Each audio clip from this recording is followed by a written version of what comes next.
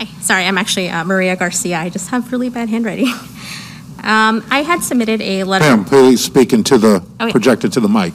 Bring it down so it beats your mouth. Thank you. Hi, um, my name is Maria Garcia, um, and I will be a Spanish teacher at Massaponax High School. Um, after having taught Spanish at Spotsylvania Middle School for five years, we live in the Berkeley School District, um, and between my husband and I, we have five children, uh, two who attend Robert E. Lee and three who will be attending Spotsylvania Middle School. Um, I definitely know how hard it is um, to homeschool your own children while also working from home. Uh, we have, again, five children, two of which who have ADHD and one who has autism and ADHD. Um, definitely wasn't the easiest thing. My husband, total, maybe helped out one day with homeschool just because he was still going on base work. He's an active duty Marine. Um, and he, the joke is, he won Teacher of the Month despite that um, just because of how hard it is and how frustrating it was. And I'm sure I probably wasn't the best uh, mom at that time because I was trying to both teach my own students um, at home as well as also working with my own students. Um, like I mentioned, my daughter has autism.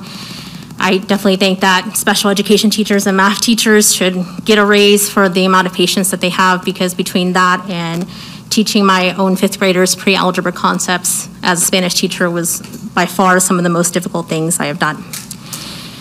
Despite all that, um, I still do see that 100% virtual learning is our best option. Um, throughout this whole entire time, I've had multiple family members who've actually contracted COVID.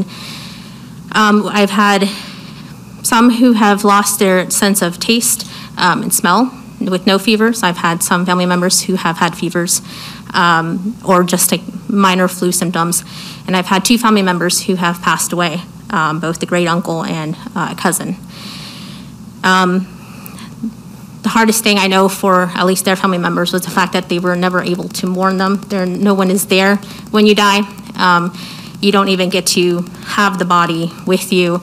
You're just presented with their ashes um, afterwards. There's no memorial service. There's no funeral. Um, I love teaching. I love my students. I love being with them. There's not any part, there's not, there's a, every single part of me wants to be in my school, but I want to make sure that we're also able to do it safely. Um, the superintendent of Fairfax County Schools was interviewed recently by CNN. Um, and one of the things they were able to showcase was how much funding was put forward to ensure that staff and students all had access to PPE, that plexiglass was installed um, into public spaces. And I just want to make sure that if we do come back, that we have the same safety measures because I think we deserve the same thing that this county has. If we're not able to guarantee the safety of our staff and students, then I don't think that we should be able, that we should go back until that is in place.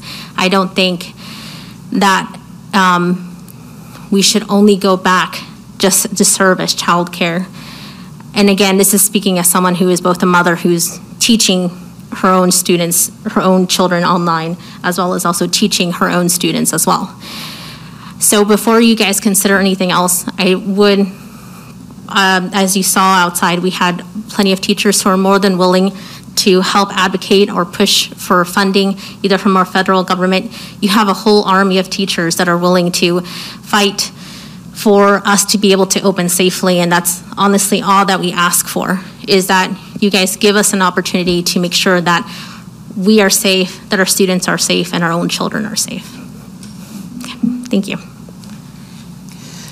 Leanne Tate.